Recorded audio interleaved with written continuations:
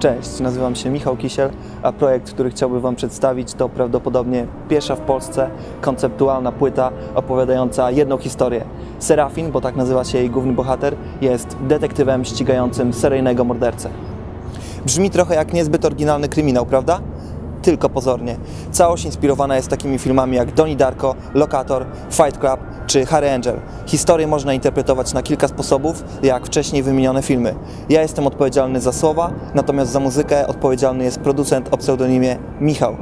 Zanim zdecydowaliśmy się na wykorzystanie portalu Polak Potrafi, próbowaliśmy zainteresować tym niecodziennym materiałem ludzi związanych z filmem bądź teatrem.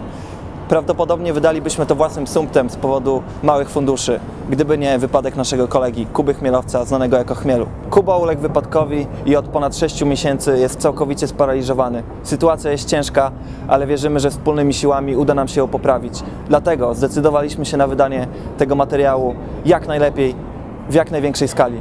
Cały dochód chcemy przeznaczyć na rehabilitację Kuby. Wierzymy, że z Waszą pomocą uda nam się zrealizować ten plan. Podstawowym celem jest wydanie CD i w formie winylowej, kolejnym komiks bądź animacja. Wszystko zależy od tego, ile uda nam się zebrać funduszy oraz od tego, która forma najbardziej Was zainteresuje. Jeżeli wsparcie będzie wystarczająco duże, być może z Waszą pomocą uda nam się zrealizować pierwotny plan, czyli krótkometrażowy film detektywistyczny. Liczymy na Was.